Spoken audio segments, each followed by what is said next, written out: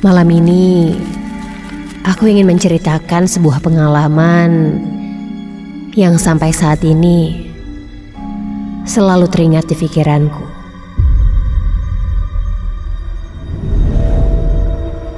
Namaku Nelly.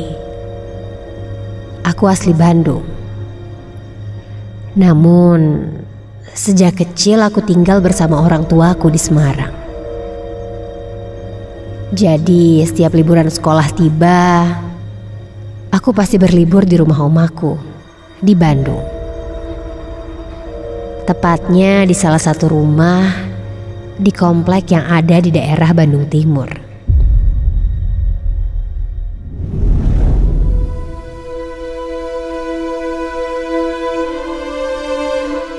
Singkat cerita, saat itu aku masih duduk di bangku SMA dan ingin menghabiskan liburan semesterku di Bandung, di rumah Oma. Aku ingat hari itu hari Minggu, dan aku berangkat dari Semarang menggunakan bus yang berangkat jam 4 sore.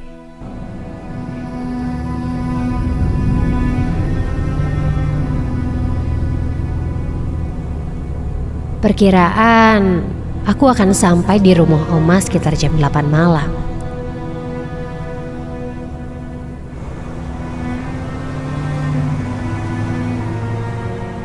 Singkat cerita, akhirnya aku sampai di rumah Oma.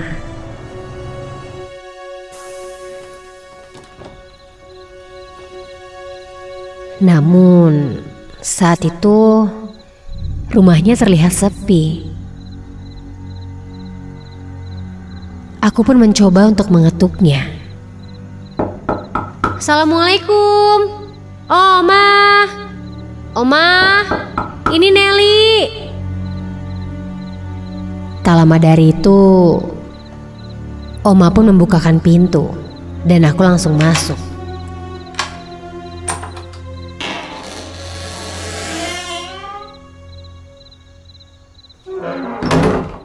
Ketika masuk, rumah Oma ini memang terlihat sangat besar dengan dua lantai.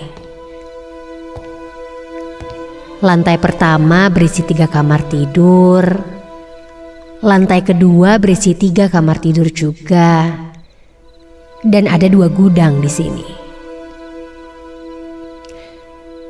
Karena satu kamar dipakai Oma, Dua kamar terkadang masih ditempati oleh bibi dan omku ketika mereka sedang pulang ke Bandung. Mau tidak mau, aku harus tidur di kamar atas. Oma menyambutku dengan senang. Karena sudah sangat lama juga kita tidak bertemu. Singkat cerita, aku tidur di kamar atas yang sangat luas. Dengan dua spring bed ukuran besar yang bersebelahan, kamar ini terkesan seram. Karena di dalam kamar ini terdapat meja besar dan sebuah sofa antik. Ih, horor banget sih kamar ini. Kataku dalam hati.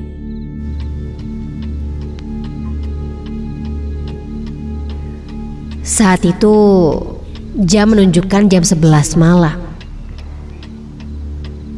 Seketika terdengar seperti sebuah suara berderit berasal dari luar kamar.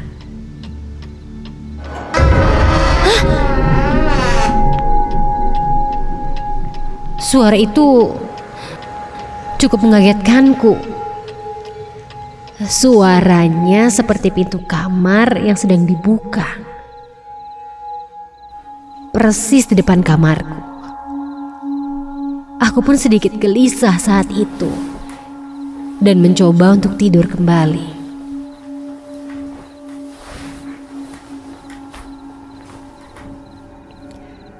Aku pejamkan mataku. Lalu aku pun tertidur entah berapa lama. Sampai aku terbangun karena seperti ada seorang wanita yang sedang bersenandung. Hah? Suara suara siapa itu? Seketika bulu kuduku berdiri. Namun terdengar suara lain. Ada ada suara wanita kedua yang seperti menegur wanita pertama yang sedang bersenandung tadi. Dan kini mereka pun terdengar seperti mengobrol. Oh, ternyata memang ada orang. Mungkin itu pembantu Oma. Aku yang tadinya ketakutan pun menjadi santai. Aku pun terbangun karena ingin beranjak untuk buang air kecil. Tanpa pikiran curiga, aku pun langsung membuka pintu. Dan Benar saja, di luar ada dua orang wanita. Mereka menatapku sayup. Aku pun menegurnya sambil berkata, Pembantunya Oma ya teh.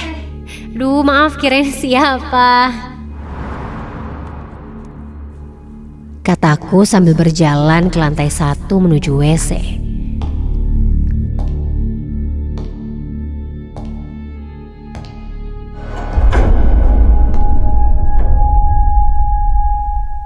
Sampailah aku di kamar mandi. Begitu keluar, suasana rumah itu kembali hening. Nampaknya dua wanita tadi sudah tertidur. Aku pun kembali ke kamar menaiki tangga. Tangga ini sudah sangat tua Ketika aku injak, anak tangganya berdecit. Dan aku pun sampai di lantai dua. Tapi... Loh, suara tangga berdecit itu masih terdengar. Aku kan sudah sampai. Siapa lagi yang naik tangga di belakangku? Aku pun menengok ke belakang. Dan ternyata itu salah satu dari wanita yang kulihat tadi. Berjalan naik sambil menunduk.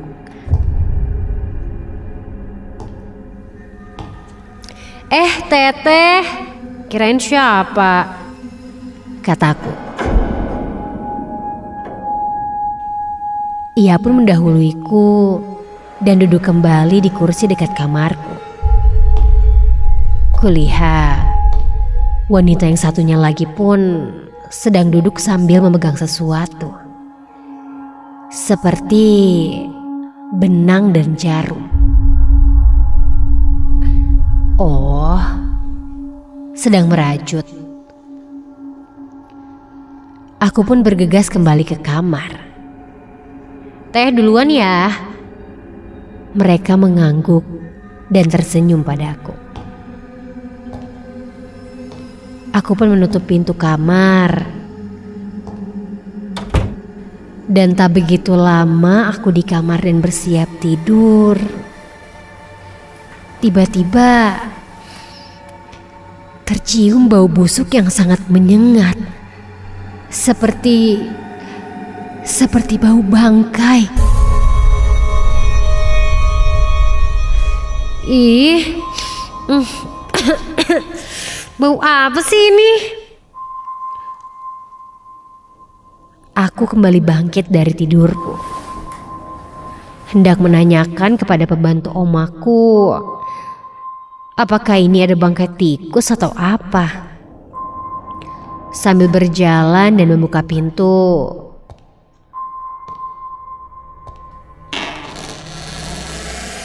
Teh, ini kenapa bawa?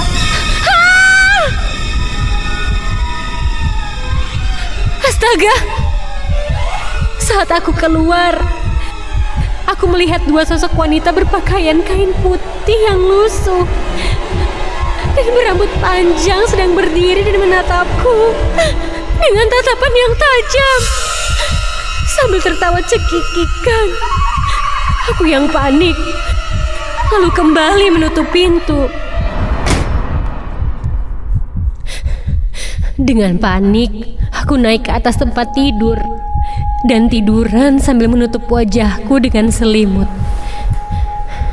Sampai pintu kamar ini terdengar terbuka dan seketika suasana menjadi hening.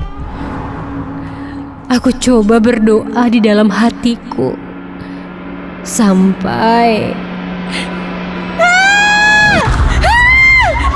Tiba-tiba saja ada yang menarik selimutku dengan keras. Dan ya Tuhan, jelas dengan mata dan kepalaku sendiri. Aku, aku melihat dua sosok wanita itu. Wajahnya sangat menyeramkan. Terlihat seperti tengkorak dengan bola mata yang nyaris keluar. Serta mulutnya yang menganga dan terus-menerus tertawa cekikikan. Kemudian aku tidak sadar lagi apa yang terjadi.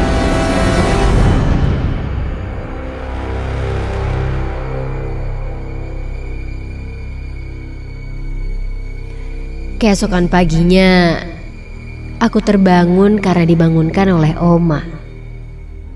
Oma bertanya, kenapa kamarku berantakan. Dan aku tertidur di lantai.